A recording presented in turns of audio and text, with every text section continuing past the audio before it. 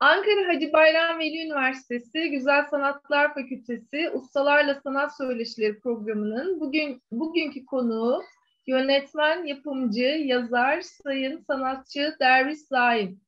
Hoş geldiniz hocam. Hoş bulduk. Öncelikle davetimizi kabul ettiğiniz için çok teşekkür ediyoruz. Hocam izninizle önce sizi e, kısaca bir tanıtmak istiyorum.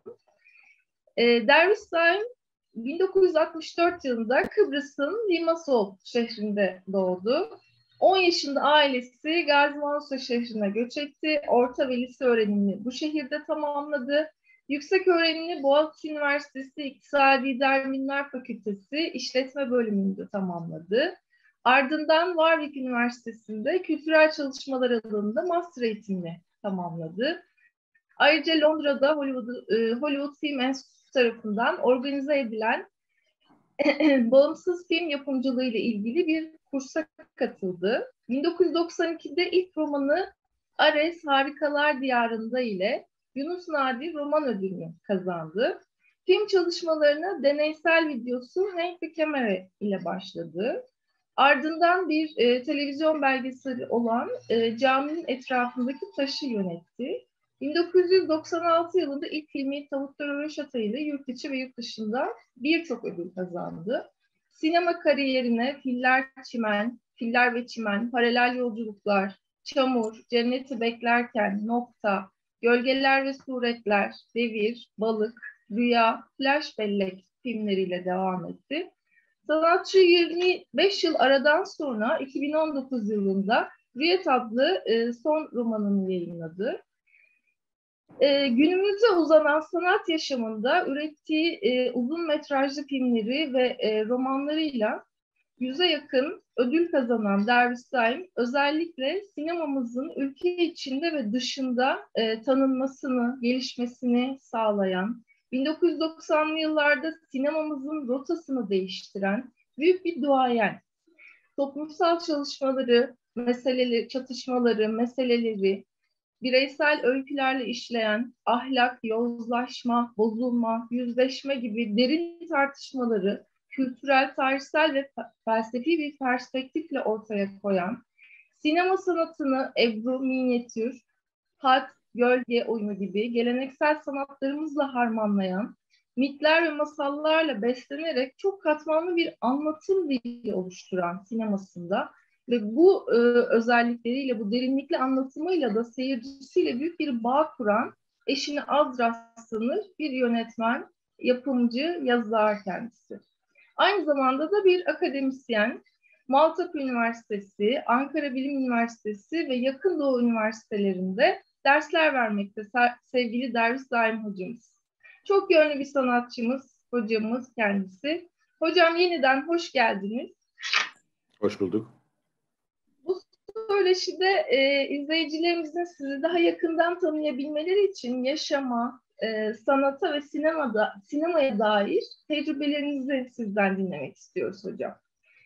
Öncelikle e, isterseniz çocukluğunuzdan e, ve gençlik yıllarınızdan başlayalım. Çok yönlü bir sanatçısınız hocam. Ailenizde veya çevrenizde sanatla ilgili birileri var mıydı? Sanatla ilk bağınız nasıl oluştu? Ailemde e, sanatla uğraşan birisi faal olarak yoktu. Elbette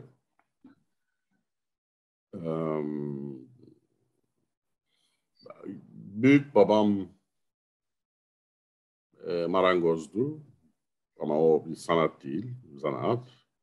Hı hı. E, fakat küçük yaşımdan itibaren ihtiyacım olan, gereksinim duyduğum her türlü kitabın elde edilmesine, sağlanmasına, bulunmasına bana sonsuz katkıda bulundular. E, dolayısıyla yani desteklenen ve destekleyen bir ortamda büyüdüğümü söyleyebilirim. Ee, küçük yaşlarda resim yaptığınız evet. bu yerde. Resim, e, resim, resim, evet resim vardı. Sonra ortaokul sıralarında yazmaya başladım.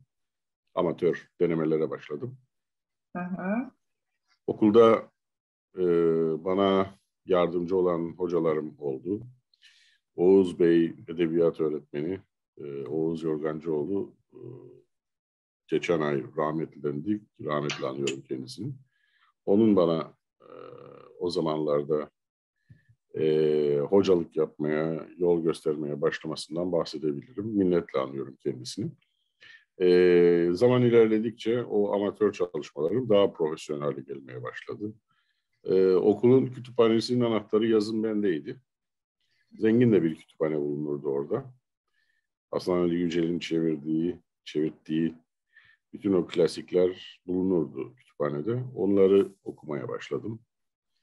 E, kısacası pratikle okumaya çalışmak gibi iki dere yatağından devam etti benim kendimle ilgili meseleleri ele almaya çalışmam. Onların üzerinde fikir e, yürütmeye çalışmam. Zaman içerisinde hatalar yapa yapa daha da e, net sorulara doğru kendimi yöneltmeye gayret ettim. Peki. Ee, iyi, ki, iyi ki ilerlediniz hocam. Teşekkür ediyoruz. Sizin e, sanatınıza girişiniz bir ödülle karşılanıyor tabii ki. Yani yazarlık, e, özellikle ilk kitabınız Ares Harikalar Diyarı'nda 92 yılında Yunus Nadi alıyor. 90, 94 yılında yayınlanıyor ama e, romanınız. E, 25 yıl sonra ikinci kitabınız çıkıyor diye 2019 yılında.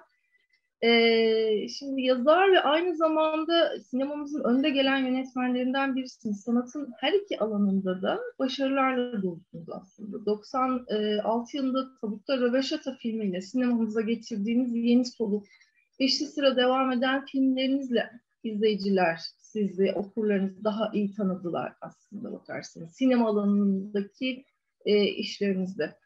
Bizde e, hocam sinemaya yönelme serüveninizden biraz bahsedebilir misiniz? Sizi yönlendiren etmenler neler oldu? Sinemanın, sanatın kendisine dair büyük bir sevgi duyuyordum. Küçük yaştan itibaren sinemayla büyüdük. E, o karanlık salonların büyüleyiciliği elbette herkes gibi beni de etkiledi. Ee, sinemanın ayrı bir dil olduğunu keşfetmek için ve bunları tartışabilmek için de şanslıydım ki Boğaziçi Üniversitesi'nde okurken bir hoca e, bana yollar açtı. Kafamda yollar açtı. Bazı şeyleri daha kolay fark etmemi sağladı. Hatta beni e, reklam filmi yapan Üstün Bey, Üstün Barış'ta evine davet etme, e, setine davet etme kibarlığını da gösterdi. Onun sayesinde e, temel bilgileri edinmeye başladım. Daha sonra pratik yapmak için kısa metrajlı filmler çekmek, e, bu anlamda kendimi geliştirmek için çabalara giriştim. E, İngiltere'deki bir yıllık eğitim esnasında oranın e, Film Studies bölümüyle de çok yakın işbirliği içerisinde oldum. Hatta tezimi onlarla e, beraber yaptım. Kültürel çalışmaları master yapmama rağmen. O da gene teorik olarak beni besledi diyebilirim. Ee, televizyon metin yazarlığı, televizyon yönetmenliği, televizyon e, tanıtım, e, kültürel e, alanda tanıtım filmleri, e, programları yapan e, bir yönetmen deneyimine de sahiptim o sırada. Yani pratik de söz konusu olmaya başlamıştı. Şurada bu şekilde. Hı hı. E, o okullar ve pratik birbirini besledi. Böylesi olması da iyi bir şeydir. İnsanın pratiğinin e, teoriyle at başı gitmesinde yarar vardır. Birbirlerini desteklerlerse hiç fena olmaz diye düşünüyorum. Ben de şanslıydım ki öyle oldu. Bir de e, geç oldu bende. Geç olması da iyi oldu. Çünkü sinemada, sanatta size gereken en önemli şeylerden bir tanesi perspektiftir. Perspektif evet. de size ait bir sistemi kurmakla mümkündür. Sistem sabit olmaz, onu söyleyeyim. Sistem hep değişir. Hayat boyunca yeni sorularla o sistemi zenginleştirirsiniz. Size ait sistemi, size ait ahlaki ya da estetik sistemi. Ee, ilk roman deneyimini ortaya çıkardıktan sonra, yazdıktan sonra sinemaya geçmek benim için faydalı oldu. Hatta bu sürenin uzaması da faydalı oldu. Bundan rahatsızdım vakti zamanında. Niçin daha önce film yapmadım diye hayıflanırdım. İyi ki geç yapmışım. O geç yapılan sürede de daha olgunlaşmamı sağladı zaman. Evet. evet. Hocam ilk filminiz Tabutlar Araşatı ulusal uluslararası birçok ödül kazandı. İlk filmiyle ödül kazanabilmek tabii çok büyük bir başarı. Ee, filminizin üretim sürecini de e, bilenler biliyor biliyoruz hepimiz. Bu süreci yürütebilmek de aslında bakarsanız büyük bir başarı. E, çünkü ünlü isimlerle çalıştınız, e, onlarla çalışabilmek büyük bir başarı, maddi zorlukları aşabilmek e, bir başarı. E, hocam öğrencilerimiz ve sinema sanatına yeni girecek olanlar için de yönlendirici olması maksadıyla bize biraz da ilk filmimizin üretim sürecinden kısaca bahsedebilir misiniz? Yani yetenek, tutku, inanç, disiplin, e, bu süreci tanımlayan temel etmenler olabilir mi? Elbette haklıyım. Haklısınız söylediklerinizde katılıyorum. Ee, sinema eğitimi gören arkadaşlarımızla e, baz alarak konuşmaya başlayayım. Sinemaya atılmak isteyen, sinema eğitimi alan, almak isteyen, almadan atılmak isteyen insanların sinemayı öğrenebilmeleri için bir projelerinin e, olmasında yarar vardır. Bir proje eşliğinde eğitim alırsanız, kafanızda bir proje olursa eğitim alırken, e, aldığınız eğitimin e, daha fazla farkına varırsınız. Çünkü derslerde size konuşan hocaları projenizi aklınızın bir köşesinde tutarak dinlersiniz. Ve e, o duyduğunuz laflar bir yerlere yapışır, monte olur, onunla birlikte gelişir. O projeniz bağlamında bu lafları dinlediğiniz için kendinizi geliştirirsiniz. Hele bir de işin içerisine pratik girerse yani yapmaya da başlarsanız, bir şeyleri eylemeye de başlarsanız, eylemin ve üretimin içerisine de girerseniz e, hocanızdan alacağınız verim katlanır. Sinemaya kalkışan her şey, e, herkes bir şekilde önemli bir, e, özellikle kariyerinin başında önemli bir tarafını riske atıyor demektir. Çünkü nankör olabilme ihtimali olan bir meslek. E, her ne kadar vaatleri büyükse, e, insanın içini gıdıklıyorsa bunlar, insan e, çok büyük zorluklarla daha sonra şu ya da bu şekilde karşılaşabiliyor. Dolayısıyla hayatını, kariyerini, yapmak istediklerini, e, yaşamak istediği stili bir anlamda riske atar. Sinemayla uğraşan insan. Bunları bilmek gerekiyor. Hı. İki, e, yaratıcılığı besleyen şey bilinçli çaba evet. merkeze koyuyorum. Bilinçli çaba ve e, disiplini merkeze koyuyorum ama bunlar sizin bilinçaltınızı eğer böyle yaparsanız daha da kışkırtırsınız. Bilince çıkardığınız şeyler bilinçli çaba söz konusu olduğu zaman çok daha gürül gürül çıkmaya başlar, gürül gürül akmaya başlar. Esin perisi, esin kaynakları, esinlenme diye bir şey varsa o ancak bilinçli e, çalışmanın eş güdümüyle size gelir. Tek başına esin kaynakları, esin perileri sizin bir romanı yazmanıza, öyküyü yazmanıza yeterli olmayabilir. Değil mi? Sürekli emek, emek vermek gerekir. Çaba göstermek ve geliştirmek gerekir. Sistematik çaba e, göstermek gerekir. Taşı taş üzerine koymak gerekir. Sinemacı fotoğrafçılıkla uğraşmalıdır objektifleri bilmelidir, edebiyatı bilmelidir. Edebiyatın ona sağlayacağı anlatım tarzlarını bilmelidir. Bunların senaryoya aktarıldığı zaman nasıl veçeler alacağını bilmelidir. Sinema tarihini bilmesinde yarar vardır. Toplumsal tarihi, sosyolojiyi, özellikle psikolojiyi bilmesinde yarar vardır. Ee, bir sürü şeyi e, sinemacı bilmek durumundadır. Aynı anda. Siz de böyle başladınız. Değil mi hocam? Tabutlara ve şataya. Bu inançla, bu e, kendinize, e, işinize verdiğiniz, projenize verdiğiniz inançla anladığınız kadarıyla. E, tabutları ve şatayı çektiğim sıralarda Türkiye'de endüstriden bahsetmek çok kolay değildi. Çünkü Türk sineması krizdeydi. Hı hı. E, senede 10 tane film çıkarsa kendimizi bahtiyar sayıyorduk e, gerilla tarzında bir film yapmanın benim için hayırlı olacağını düşündüm. E, gerilla tarzında film yapmak şudur. Bir e, yerli ve yerleşik endüstrinin yanında veya dışında iş yapmaya kalkışırsınız.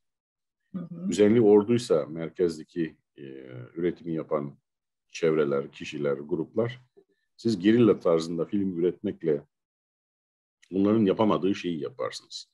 İşte küçük ekipler, daha kısa zamanda çekmek, e, senaryoyu ona göre ayarlamak, küçük ölçüye göre ayarlamak ama estetik ödül vermeden bunu yapmak. Kısacası yeni gerçekçiliğin, e, üçüncü sinemanın esin kaynağı olduğu bir üretim yordamı tutturursunuz. Hı hı. İtalyan yeni gerçekçiliği benim esin kaynaklarımdan bir tanesiydi. O tabutları başlata yok bu estetiğiyle ortaya çıkmış bir filmdir. E, rahmetli annem bana 60 kutu akfa almam için gereken e, parayı hı hı. borç olarak verdi. E, Süha Bey rahmetli belgesel film yönetmeni, Türk sinemasının duayenlerinden bana bir kamera, kendi kamerasını, 2C kamerasını ve e, birkaç tane ışık verdi.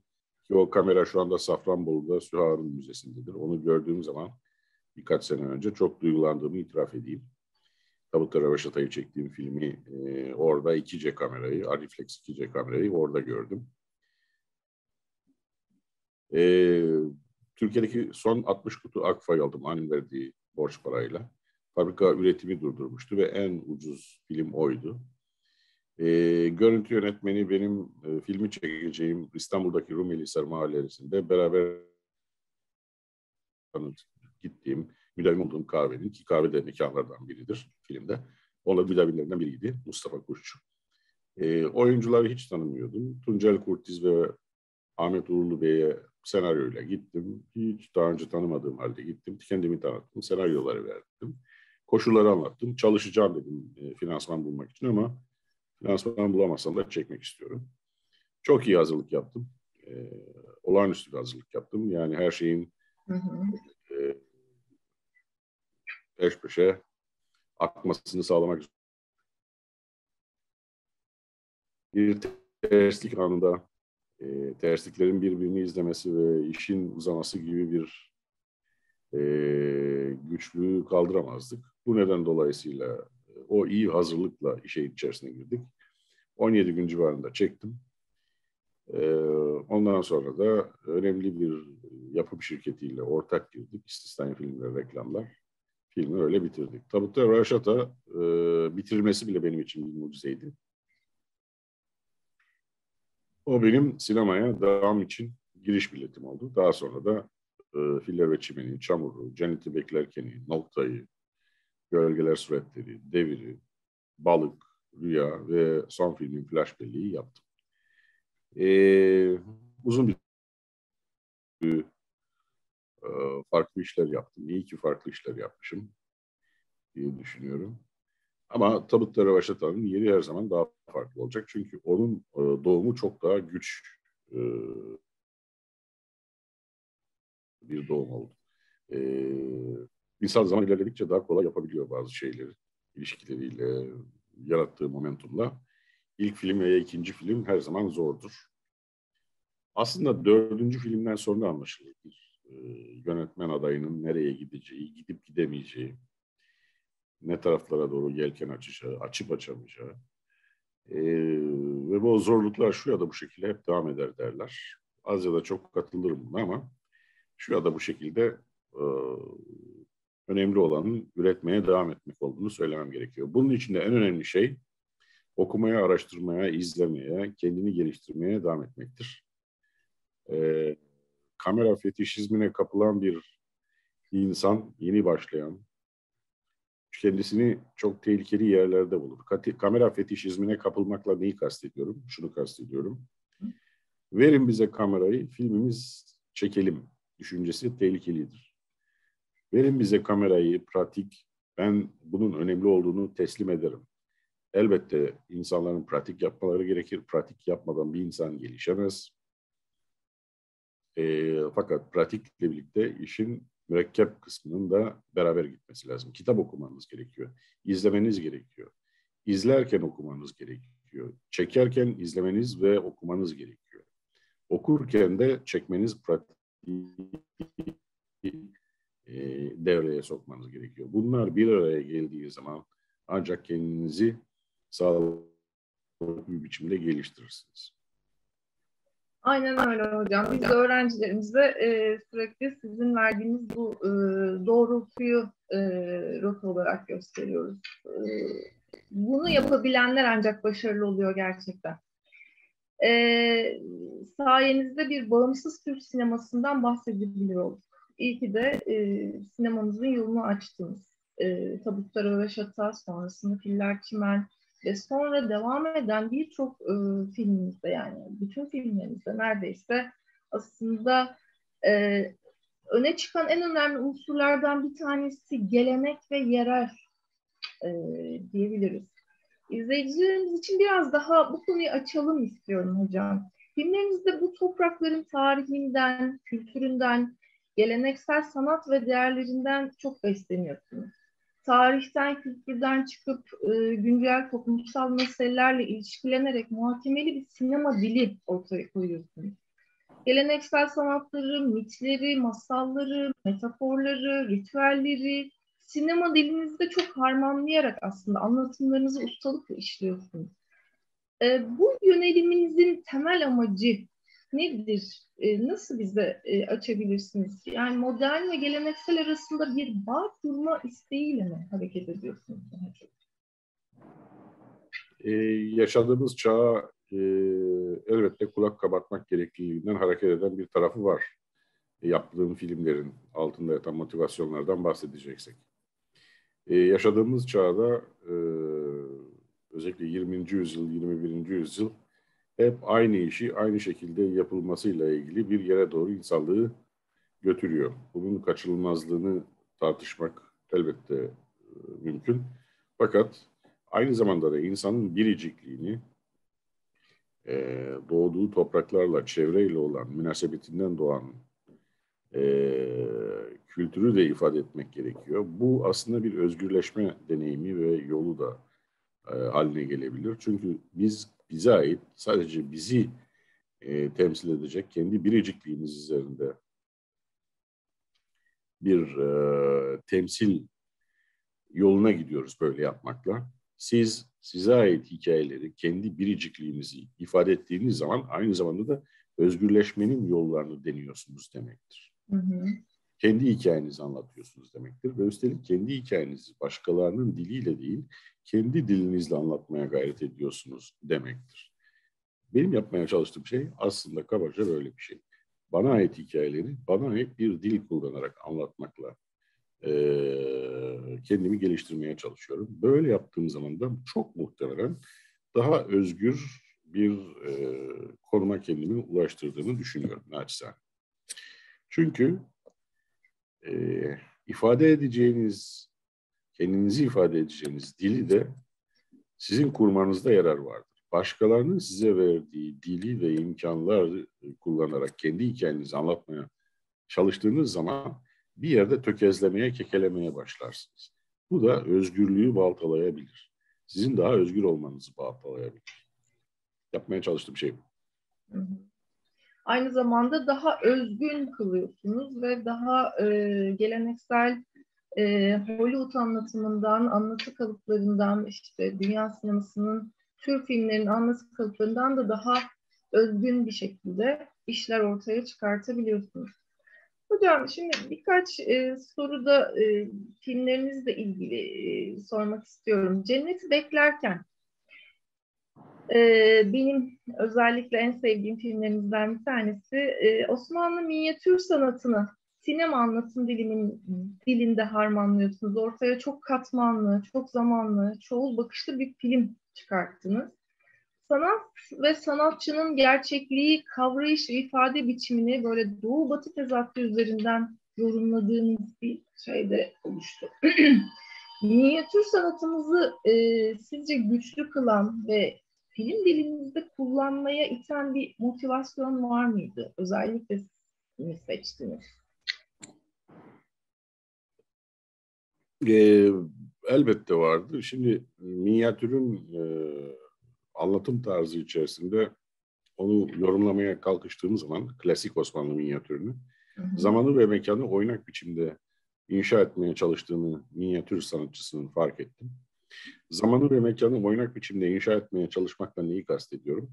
Zamanı ve mekanı birbirinden çok farklı zamanlar ve mekanları bir araya getirmekte bir beis görmüyordu minyatür sanatçısı. Yani e, aynı zamanda olmayan e, iki olayı yan yana getirebiliyor. Aynı mekanda olmayan birkaç olayı yan yana getirebiliyordu e, nak, nak, nakşı yaptığı kağıdın üzerinde. Bunu niye yapıyordu? Daha yetkin bir anlatım sağlayabilmek için, anlattıklarını sıkıştırabilmek için, geliştirebilmek hı hı. için, onlara e, kontur puan yapabilmek için yapıyordu. Anlatım dilini geliştirmeye çalışıyordu. E, zamanın ve mekanın oynak biçimde inşa edilmesi çok sonraları tekrar ortaya çıktı. Batı resmi içerisinde. Hı hı. Özellikle Batı resminin en problematik eserlerinden biri olan, kırılma noktalarından biri olan Velázquez'in e, Nedimeler tablosunun içerisinde böyle bir e, motivasyonun ve isteğin de yer aldığını gördüm. Sonra kendime şu soruyu sordum. Acaba Doğu ve Batı resimleri arasında bir arayüz, bir ara kesit, bir konuşabilme ihtimalinden bahsetmek mümkün müdür? Çünkü sanatın görevi de çeşitli kültürlerin birbirleriyle olan iletişimiyle ilgili sorular açmaya çalışmaktır. Acaba biz doğduk, büyüdük, e, oryantalistlerin bizi gördüğü gibi değişmez, kalıplaşmış, e, dönüşüme kapalı e, kültürel birimler miyiz? E, Batı bizden her zaman daha yukarıda olmaya e, muktedir olacak bir e, kimlik midir? E, hayır değildir. E, böyle olmadığını da sanat aracılığıyla gösterebilmenin yollarından bir tanesi işte ikisinin birbiriyle alışverişinden arayüzler doğabileceğini e, göstermeye çalışmaktı. Cenneti beklerken içerisindeki e, Nakkaş'ın bulduğu Leyla adlı e, köle kızın filmin sonunda e, Velázquez'den mülhem Nedimeler tablosundan esinlenerek yapılmış tabloya yaptığı minyatürden kesip e, aynaya yapıştırdığı parçada işte böyle bir e, imkanı bana sağlıyordu. Yani kültürlerin bir araya gelebileceğini, gelebilme ihtimalleri bulunabileceğine dair bir imkanı gösterebilme e, durumunu sağlıyordu. Cenneti beklerken böyle bir tarafı var. E, biz insanlık kendi köklerimize sahip çıkarak da birbirlerimizle konuşabiliriz. Başka e, kısa devreler yaratabiliriz. Bu da bizi özgürleştiricidir, zenginleştiricidir demeye çalışıyordum. Hı hı. Yine hocam e, nokta filminizde de aslına bakarsanız bu zaman mekan algısı üzerine e, çalıştığınızı düşünüyoruz, e, görüyoruz. E, şimdi hat sanatını bu filminizde merkeze alıyorsunuz. Yine cesur bir özgünlük girişimi e, kesinlikle bu film. E, hat sanatının işte elini hiç kaldırmadan kesintisiz yazı tekniği olan e, ih, ihcam e, tekniğini anlatı dilinize uyarlıyorsunuz. Hani filmin tek e, planlı çekim tekniğini de bu bağlamda düşündüğümüzde yine e, zaman ve mekan algısına yönelik bir anlatım aracı olarak kullanıyorsunuz. Değil mi? Sanatını. Evet. Ee, bir e, cenneti beklerkenle birlikte hatta çamuru da bunu başka bir bağlamda koymam gerekiyor. Onu da ayrıca söylerim. Hı hı e, bizim coğrafyamızdaki çeşitli sanatları temel alarak o coğrafyadaki bize ait sanatları kullanarak bunları sinema diline tercüme etmeye kalkışırsak yapılış, yordam, yapı, biçim, teknik özelliklerinden hareket edersek sinemaya bunlar nasıl projekte edilebilir sorusunu kendime sormuştum. Örneğin e, Cennet'i beklerken de e, nakkaşların zamanı ve mekanı oynak biçimde inşa etmesini yorumun temeline koymuştum ve sinema dilini inşa ederken e, zamanın ve mekanın oynak biçimde inşa edilmesini sinemada da gerçekleştirmeye çalışmıştım. E, filmin içerisindeki aynalar, e, evet. kemerlere yerleştirilen İstanbul görüntüleri bunun örneklerinde arasındadır. Başka şeyler de vardır. Onların e, meraklısı bakıp görecektir. Bu arada filmler iTunes'da var. İsteyenler iTunes'dan görebilirler. Ara ara televizyonlardan da yayınlanıyorlar. Evet. Onu da bilelim. E, noktada da bir e, hat sanatkarının her zaman değil, kimi zaman hı hı. E, bir defada yazması tekniğini e, temel alarak filmi öyle yapmanın hoş olabileceğini düşündüm. Mahattatlar bazen ellerini kaldırmadan bir defada bir hat sanatı örneğini icra ederler. Buna ihcamla yazmak adı verilir. Acaba ben de bir hat sanatçının ihcamla yazmasına benzer şekilde filmi tek bir defada yapabilir miyim? Kesmeden, e, elimi kaldırmadan, kamerayı durdurmadan yapabilir miydim? Sorduğum soru buydu. Nokta öyle çıktı. Fakat noktanın içerisinde de tek plan olmasına rağmen e, zaman içerisinde geri dönüşler, ileriye gidişler vardır. Bu da onu tek plan e, filmlerden ayıran en önemli e, meziyetlerden bir tanesi haline gelir. Çok teşekkür Başka ediyorum. Başka tek plan filmlerden ayıran en önemli özelliklerden evet. bir tanesi. Evet, evet. Hocam Gölgeler Suretler filmimize değinmek de aslında önemli. Kıbrıs'taki e, Türkler ve bunlar arasındaki çatışmaları, savaş, barış, dostluk, düşmanlık, işte gölge, suret gibi, masumiyet, vicdan gibi e, kavramlar etrafında sorguladığımız da bir e, film. Gölge oyunu geleneğimize de gönderme yaptığımız bir film aynı zamanda. E, bir işte çıkış noktanız olarak Platon'un mağara metaforunu kullanmayı e, tercih ettiğinizi e, söylüyorsunuz. E, yine nokta filminde de aslında eylem, eylemlerimiz ve sonuçlarımız e, sonuçları üzerinden bir ahlak felsefesi tartışması yürüttüğünüzü söylüyorsunuz. E, sinema ve felsefe arasındaki ilişkiye dair bize neler söyleyebilirsiniz hocam? Yani beslendiğimiz yine ana kaynaklardan bir tanesi felsefedir diyebilir miyiz? Felsefeyi, e, özellikle popüler felsefeyi devam ederek okumaya gayret ediyorum yazdığım, yapmaya çalıştığım işlerde de böyle bir e, tarafın olması beni mutlu eder.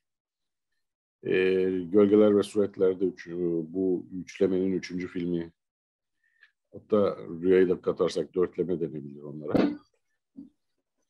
E, Gölgeler ve Suretler'de de gölge oyunundan hareket etmiştim. Gölge e, ile ilintili bir film yapmaya kalkıştığınız zaman uçsuz bucaksız bir okyanus karşınıza çıkar. İşin içerisinde Platon'un mağarası, felsefe tarihinin dolayısıyla en büyük ve ilk büyük isimlerinden e, Antik Yunan'ın filozoflarından birinin büyük metaforu evet. gelecektir. Acaba o gölgeleri e, aslını merak eden bir köle dışarıya çıktığı zaman nelerle karşılaşır, çıkacak mıdır? Bütün epistemolojisini ve sistemini Platon o gölgeleri izleyen kölelerin, mağaradaki kölelerin e, bilgiyi nasıl elde ettikleri üzerine oturtur. Bunun farkında olarak filmin içerisinde e, bazı şeyler kullanmaya gayret ettim. Filmde gölgesiyle e, karşılaşmak, gölgeyle karşılaşmak ki bu da e, ruh bilimin önemli figürlerinden Carl Gustav Jung'la ilintili olarak okumalara beni götürdü. Onun gölgeyle ilgili söylediklerini de e, filmin içerisine kattım. Hı hı. E, elbette Platon'un söylediği bütün şeylere katılmıyorum. E, insanın e, karanlık tarafını bulması gerektiğini söyler ve karanlık tarafıyla öteki taraflar arasında bir uyum olması gerektiğini söyler. Harmoni getirir. Antik Yunan'ın önemli e, önermelerinden biridir bu. Harmoni ya da uyum olduğu zaman e, bilginin daha kolay akacağı ve özgürleşmenin gündeme gelebileceği iddia edilir eğer yanılmıyorsam. Evet. Harmoni, harmoni önemli olmakla birlikte her zaman yeterli olacak gibi gelmiyor bana. Dolayısıyla harmoni ve uyum yerine insanın karanlık tarafıyla, kötü tarafıyla, kötücül tarafıyla, demonik tarafıyla konuşmayı başarabilmesi gerekir. Onunla e, temas etmeyi e, başarması gerekir diye düşünüyordum. Bu gölgeler ve suretleri yapan mayalardan bir tanesi oldu. Bu tip fikirler. Peki hocam, e, şimdi size şunu da sormak istiyorum. Şimdi masallar, mitler, evet menkıbeler, e, bunların yanında güncel tarihsel tartışmalar, travmalar, yüzleşmeler, e, bütün filmlerinizde işlediğiniz temel e, şeyler. derinlikli ve incelikli biçimde bunları izliyoruz sizden. Anadolu toprakları tarih ve kültür e, bakımından e, büyük bir zenginliğe sahip. Siz aynı zamanda Kıbrıslısınız ve e, Kıbrıs toplumunda e, bu toprakların travmalarında yaşamış, e, bunun kültürel değerlerini de e, benimsemiş, bunların içinde büyümüş bir insan olarak e, filmlerinizdeki kültürel, tarihsel eğilimleri bu biraz da çok kültürlü yapınıza e, bağlayabilir miyiz? Böyle bir eğilim muhtemelen, oluşturmuş muhtemelen, olabilir mi? Böyle bir yoruma çok fazla hayır demem. Ee, peki devir filminiz hocam sinematografinizde özel bir yerde aynı zamanda. Ee, bu filmde e, özellikle teknik bakımından işte kurmacı belgesel e, birleşimli melez bir iş çıkardınız. Çok da güzel oldu. Ellerinize sağlık. Ee, aslında riskli bir işti sinema açısından baktığınızda. Nasıl bir yol izlediniz diye böyle sorsak size kısaca bize e, kurmaca belgesel türlerini üretmek isteyen ya da hani böyle melez işler yapmak isteyen sanatçılarımız, öğrencilerimiz için hani riskler, tehlikeler bunları biraz bizim için açabilir misiniz hocam? Ee, bir durumdan hareket ettik, ee, bir e, olaydan hareket ettik. Ee, hı hı. Burdur'da her yıl Eylül ayının başında bir çoban yarışması var. E, TRT'de bir program ve Atlas dergisinde bir haberden hareket ettik. Çobanlar her yıl sürüleriyle beraber küçük bir gölete giriyorlar ve oradan çıkıyorlar. E, en hızlı e, girip sürüsüyle tereddüt etmeden çıkan çoban birincilik kazanıyor. Yerel olarak çok prestijli bir çoban yarışması. Aslında kökü binlerce yıl önceye gidiyor. Bu bir arınma töreni. Metin And'ın e, yazdıklarına inanılacak olursa ki ben böyle bir yorumlama taraftarıyım. Dolayısıyla büyüleyici bir fırsat geçmişti elime. Hani e, Efes antik arabelerine gideriz. Ee, ne bileyim Süleymaniye'ye bakarız. Eskinin somut taşlaşmış e, kalıntılarını görürüz ya. Bu o, çoban yarışması, her yıl yapılan, bir kere yapılan çoban yarışması aslında o yıkıntıların hala daha devam eden bir uzantısı gibiydi. Yaşayan bir uzantısı gibiydi ve bana göre heyecan vericiydi. Bununla ilgili bir film yapabilir miyim gibi bir motivasyon bu neden dolayısıyla bana geldi. Fakat bir filmin ortaya çıkabilmesi için üç şeye ihtiyacınız vardır. Ee, bir karaktere, bir konsepte ve bir çatışmaya ihtiyacınız vardır. Benim e, konsept kafamda hafif aşağı yukarı oluşmaya başlamıştı. Yani karakter ve çatışma bulmam gerekiyordu. Dolayısıyla o mekana gidip bir e, daha önce o mekana gidip o mekanda o mekanın e, insanlarıyla hemhal olmaya gayret ettim. Sonra e, yarışmanın olacağı gün gittik. Yarışmanın olacağı gün çok sayıda kamerayla gittik. Küçük demeyeceğim ama yani küçük denebilir ama çok sayıda kamerayla gittik. Çünkü aynı anda e, tasarlayarak çekmek mümkün değildi. Akan bir olayı çekecektik çünkü. Çok farklı evet. karakterler vardı. O karakterlerin arasında mümkün olduğu kadar ben onları daraltmaya çalışacaktım daha sonra ve esas karakterlerimi öyle bulacaktım. İşin zor tarafı şuydu. Elimde işin nereye uzanabileceğine dair bir e, dere yatağını oluşturabilecek bir iki sayfalık bir özet vardı. Kafamda çizdiktirmiştim. Ama şunu da söyleyeyim. Benim e, devir filmine başladığım zaman kafamdaki e, çiziktirmelerle daha sonradan ortaya çıkan filmin arasında bir ilgi yoktur. Çok değişmiştir. Bunu da başka türlü yapamazsınız. Ee, en başlarda elinizde bir omurga, bir dere yatağı, bir e, sinopsis, bir özet olmalıdır. O özet vardı. Sonra ben o özetle işin içerisine başladığımda, o konsept bağlamında işin içerisine başladığımda, konsept benim için e, kutup yıldızıydı, pusulaydı. Karakterleri ve çatışmayı bulmaya başladım yavaş yavaş. Karakterleri ve çatışmayı bulduğum zaman da dönüp tekrar konseptimi değiştirdim. Bunlar birbirlerini yavaş yavaş etkilediler. Üçü bir arada birbirlerini e, gererek, değiştirerek e, örüntüyü, metni oluşturmaya başladılar. Çekmeye devam ettim. Çektim, montajladım, sonra tekrar çektim, tekrar montajladım. Böyle üç kez oraya ziyarette bulundum. Sonunda film devir ortaya çıktı. Nasıl çıktı? Amatör oranın oyuncuları, köylüler oynadılar. İyi ki onlar oynadılar. Çünkü profesyonel oyuncu getirseydim aynı lezzeti alamayacaktım. Sadece köyde çektik. Bir e, köyden İstanbul'a gelen bir e, çobanın İstanbul'da çok fazla haz etmemesiyle ilgili bir sekanslar vardır. Onun haricinde her şey köydedir. Kısacası benim doğa ve insan hakkındaki e, filmlerimin e, başlangıcını teşkil etti devir. Aynı zamanda da e, çok çok eskiden e, Ege belgesinde e, ki hayata dair bir e, menkıbeden de hareket ederek o filmin yapısının oluşturulduğunu söylemem gerekiyor. Çoban yarışmasının yanı sıra. Peki, teşekkür ediyoruz hocam. Ellerinize sağlık bu filminiz için. Hakikaten e, çok keyifli bir film.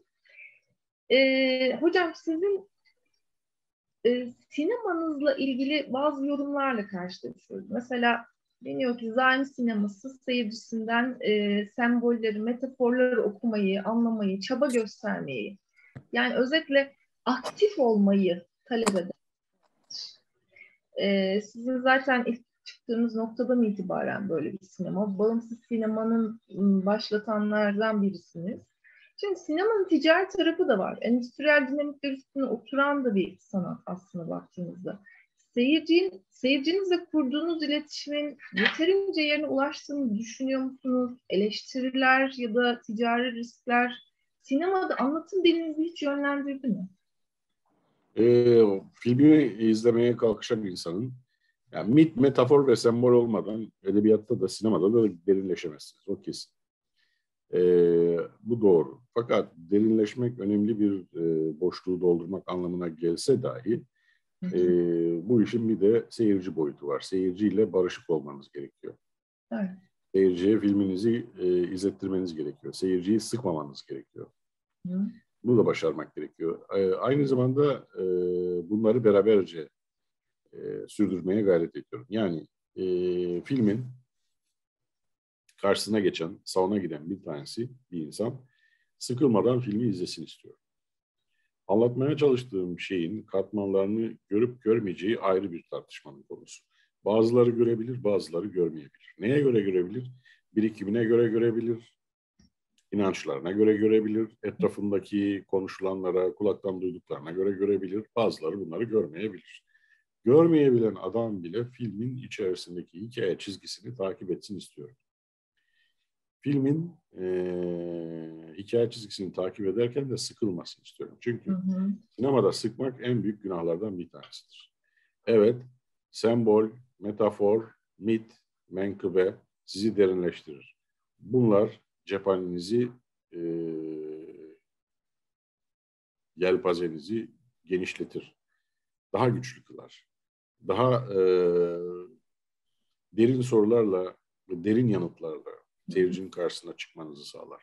Ama hele bir de bunların üzerine sıkmadan e, seyirciyi ekran başında tutmayı başarabiliyorsanız o zaman bayağı iyi bir şey çıkarmışsınız demektir. Amaçlarını böyle özetleyebilir.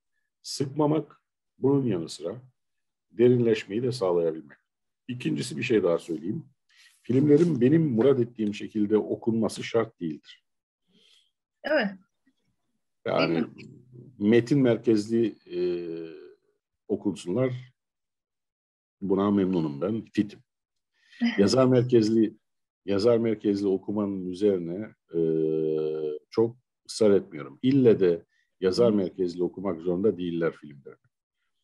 Yani benim sembol olarak gördüğüm bir şeyi sembol olarak görmeyebilirler. So what? Hı hı. Ne evet. kadar çok okunursa, ne kadar farklı yorumlar gelirse aynı zamanda o da bir zenginlik oluyor aslında. O kadar zenginlik oluyor. Aynı zamanda da filmin enerjisini gösteriyor. Evet. Evet. Hocam belki çok genel bir soru olacak ama size özel bir sanat tanımı var mı? Yani bu tanım ışığında mesela e, sizi etkileyen sanat eserleri, akımları, sanatçıları, gerçi İtalyan yeni gerçekçiliğinden bahsettiniz ama e, bize çok biraz... var. Hı hı. Çok var ve hep sürekli olarak dönüyor, dolaşıyor. Yani İtalyan yeni gerçekçiliğinden hareket ettim ama mesela yenilerde yaptığım flash bellek İtalyan yeni gerçekçiliğiyle birebir bağlantılı olarak e, yaratısının ona borçlu bir film olarak addedilemez. yaratı süreci içerisinde seneler sonra şeyi fark ettim. Bir sinemacı aslında mit yaratmaya çalışır, menkıbe yaratmaya çalışır. Modern menkıbeler üretmeye çalışır. Eski mitleri günümüzün mitleri haline getirmeye çalışır.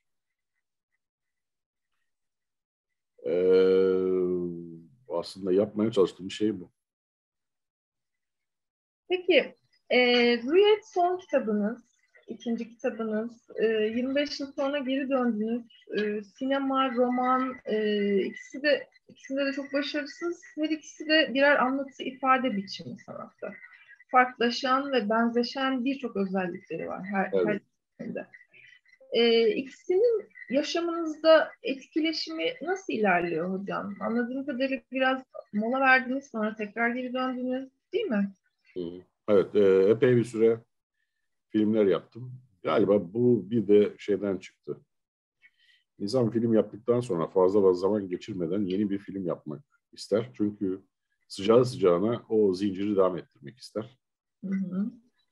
Kolay değildir çünkü endüstrinin e, inişli çıkışlı olduğu, e, finansmanın tam manasıyla oturmadığı ülkelerde film yapmaya devam etmek e, zor bir şeydir. Bunu yapmaya gayret ettim. E, sebebi de bir, bir sebebi de şudur. Fiziki enerjiniz varken, mental enerjiniz varken bunu yapmakta yarar vardır. Çünkü ileride yaş ilerledikçe daha zor hale gelecektir bu. Dedim ki e, el ayak tutarken film yapmaya birkaç tane ortaya koymaya en azından e, daha rahat koşullarda yapmak için Onları bir arada yapmak için, seri halinde yapmak için zaman harcayalım. Daha sonra da edebiyata tekrar döneriz. Aklımın hep köşesinde edebiyat vardı. Ee, bir anlamda da galiba e, sabırsızlanıyordum. Sonuçta Rüya filminden sonra Rüya filminin esiniyle hı hı. E, Rüyet romanı çıktı.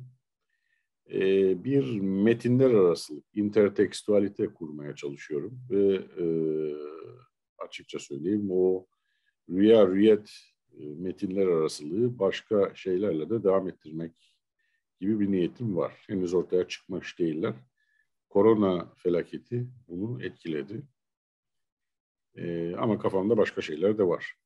Ee, bildiğiniz gibi o e, film, Rüya filmi, benim Flash Bellek'ten önce yaptığım Rüya filmi, e, İstanbul'daki bir camiden esinlenerek evet. yapıldı. Evet. Sancaklar Camii'nden. Emre Arolat'ın e, yaptığı camiden. E, cami mimarisi anlamında e, enteresan bir yapı, farklı bir enerjisi var. Dolayısıyla bir camiden hareket ederek, bir filme, bir filmden hareket ederek bir romana doğru uzanan bir metinler arasılık var. Bu metinler arasılık zincirini uzatmaya e, gitmek gibi bir niyetim var. Bir sanatlar ağı, bir metinler arasılık evet. e, ilişkisi yaratmak derdim. Sonrasında Flashback geldi. Flashback bütün bunlardan farklı bir film oldu. Yani doğayla ilgili yaptığım filmler zincirinden. Hı hı. Gelenekle ilgili yaptığım filmler zincirinden daha farklı bir film oldu. Flashback benim e, etrafta bizi saran sosyal meselelere vermeye e, çalıştığım yanıtların içerisine konabilecek, o kümenin içerisine konabilecek filmlerimden bir tanesi. Türkiye'deki devlet, mafya, çürüme ile ilgili Filler ve Çimen filmini yapmıştım Susurluk kazasından sonra. Evet. Çamur filmi Kıbrıs'ın 1964 e, değil de 74 sonrasını ele alıyordu. Gölgeler Suretler 63 yılını ele almıştı. Etnik meseleleri. Flash Bellek'te Suriye'deki meseleleri ele alan bir film oldu. Dolayısıyla benim filmografim içerisinde Türkiye'nin ve bizim coğrafyanın yanındaki yöresindeki sosyal politik insani olaylara karşı bir cümle söyleme motivasyonu da var. Bunu da söyleyeceklerime eklemiş olayım. Böylelikle. Ee, hocam şimdi pandemi dönemi e, sizin de bahsettiğiniz gibi hani pandemi dönemi bir sürü şey aslında e, sekte vurguluyorsunuz e, diyoruz. E, işte sinema salonları kapandı, biz evlere kapandık. E, ama aynı zamanda online e, süreçlerde işte çeşitli sanat etkinlikleri devam etti. Siz neler yaptınız hocam? Sizi nasıl etkiledi e, pandemi dönemi? Senaryo yazdım. Verimli kıldınız. Yeni bir senaryo yazdım. Ee, bir belgesel e, projem vardı. Uzun zamandan beri çektiğim. Onu montajlamak için girişimlerde bulundum. Pandemi hafifleyince. E, çok kısa zamanda belgeseli bitireceğimi düşünüyorum. Bekliyoruz ee, heyecanla hocam. Evet, o memnun olduğum bir iş oldu. Farklı Şu an önümüzdeki işimiz bu galiba değil mi hocam? Peki e, hocam biraz da size dijitalleşmeyi sorsak. E, sinema sektörü bağlamında şimdi e, günümüzde baktığımızda dijitalleşmeye doğru hızlı bir dönüşüm geçiriyoruz. Her anlamda, hayatımızın her alanı ama tabii ki e, sinema açısından baktığımızda üretim pratikleri, anlatım pratikleri, dağıtım koşulları, işte e, gösterim platformları, hatta sinemadaki izleyici pratikleri bile değişmeye başladı. Yani bir bireysel izlemeye doğru giden bir sürece evrilme e, görünüyor. Pandemi koşulları tabii bu dönüşümü daha da hızlandırdı. E, sinema salonları, film gösterimleri, galalar bile artık dijital platformlarda aslında yapılmaya başlandı neredeyse. Sinemanın geleceğini e, nasıl görüyorsunuz hocam? Dijitalleşmenin avantajları, dezavantajları e, konusunda neler düşünüyorsunuz? Yani bizi nasıl bir rotaya götürür? Anlatım dilimizi nasıl dönüştürür? E, ulusal sinemamızı nasıl yapılandırır? Ne, ne dersiniz hocam? Ee, Genel bir soru ama hani. Evet, e, teknolojiyle ilgili gelip dayandığın denen bir konu. Teknoloji kullanımıyla ilgili söyleyeceğim şey şu. Teknolojiyi tek başına iyi ya da kötü e, diye addetmiyorum. Böyle bir yaklaşım sağlıklı olmaz. Teknolojiye şöyle yaklaşıyorum. Onun içini, teknolojinin içini neyle doldurduğunuz önemlidir. Evet. Teknolojiyi boş bir bardak olarak görüyorum. O boş bardağın içerisini çamurla doldurabilirsiniz. İçerisini limonata da doldurabilirsiniz. Sizin niyetinizle de doğru orantılı olarak e, ele alınması gerekiyor. Teknolojiyi e, nasıl kullandığınızın e, netleştirilmesi. Şimdi e, hangi amaçlar doğrultusunda neyi harekete geçirdiğinizi e, ön plana alarak e, meseleye yaklaşmamız gerekiyor. Onun dışında görebildiğim e, teknolojinin getirecekleriyle ilgili olarak e, küçük ekranlar ve küçük ekranlarda filmleri izlemeye elbette insanlar gidecekler, devam edecekler ama bazı bazı başka türlü filmlerde de büyük ekranda izlemeye gidecekler. Belki estetik olarak öyle bir ayrım daha net olacak ileride. Ya da filmin yapısı insanların büyük salonlara çekilebilmesi için e, belli kategorileri bize sunacak. Her türlü filmi büyük ekranda, büyük salonda başka insanlarla bilet alarak izlemeye belki gitmeyeceğiz. Eskisi kadar gitmeyeceğiz. O dönemler biraz daha seyrekleşecek. Ama sinema salonları şu ya da bu şekilde teknoloji nereye giderse gitsin hep var, ola, var olacak. Sebebi de şu, insanlar tanımadıkları insanlarla kendileri gibi e, başkalarıyla karanlık bir ortamda oturup e, daha önce izlemedikleri bir şeyi izlemekten zevk alıyorlar. İçgüdüsel bir zevk alıyorlar. Atalarımız ateşin başında bunu keşfettiler. Sonra o Yunan tiyatroları, Roma tiyatroları ortaya çıktı. Karanlığın içerisinde bir yerlere bakmak ve o e, toplu e, zevki hissetmek, beraber izleme zevkini hissetmek. İnsanlık bu meyanda önümüzdeki zamanlarda da aynı şekilde beraberce bir şeyleri izlemeye devam edecek diye düşünüyorum. Bunun haricinde de e, teknolojinin göre bize getirebildiği, bizim kuşağımızdaki sinemacılara getirebildiği en önemli dezavantajlardan bir tanesi prezervasyon, saklama. E, dijital olarak çektiğiniz bir filmin e, ömrü pelikülde yansıyan bir sinemadan daha kısa oluyor. Ne yazık ki. Bu büyük bir sorun ve bunu halletmek lazım. Hocam e, sizden öğrencilerimiz için de böyle öneriler, tavsiyeler almamız mümkün mü kısaca? E, sinema sektörüne giriş biliyorsunuz oldukça zor. E, izlen, izlemeleri gereken yollar, uymaları gereken kurallar ya da takip etmeleri gereken e, özellikler, eğitimler e, neler olabilir? Kendilerini nasıl geliştirebilirler? Gerçi bundan biraz evet. ama. Her öğrenci için bu farklıdır. Bir öğrenci evet. için tutacak olan yol yoldan öteki için aynı değildir. Aynı olmayabilir. İyi ki de böyledir. Ama genel bir şeylerden bahsetmem gerekirse bir e, korkmasınlar. E, yüzmeyi öğrenmek için suya dalmak lazım. Suya dalsınlar. Suya daldıkları zaman da pratiği tecrübe ettikleri zaman da o teoriyi unutmasınlar. Teori sadece okulda gördükleri ve asla bir kere daha dönüp bakmayacakları bir şey değil. Evet. Bunu bir ihtiyaç haline getirsinler. Ee, arada kitap açıp kitap okumayı bir zevk haline getirsinler. Ancak öyle yapan insanlar kendisine ait bir e, estetik sistem, ahlaki sistem kurabiliyorlar. Aksi takdirde televizyona e, yönetmen olursunuz. Bu da kötü bir şey değildir. Ama size ait bir sistemi kurmak, hı hı. E, isterseniz daha farklı yaklaşmanızda yarar vardır. Pratik önemlidir. Pratikle birlikte teoriyi götürsünler. Bunları yaparken de hata yapmaktan korkmasınlar. Evet. Pratiği götürürken de hata yapabilirsiniz. Teoriyi götürürken de hata yapabilirsiniz. Önemli olan insanın yanıldığını gördüğü anda geri dönüp nerede yanlış yaptım, nerede e, işler benim için çuvallamaya başladı sorusunu sormaya başlamış, başlamasıdır. O noktaya gelip de o noktada işlerin karıştığını keşfettikten sonra kendine yeni bir güzergah saptaması lazımdır o insanın. İnsan karşılaşmalarıyla kendini var eder. Ee, evet.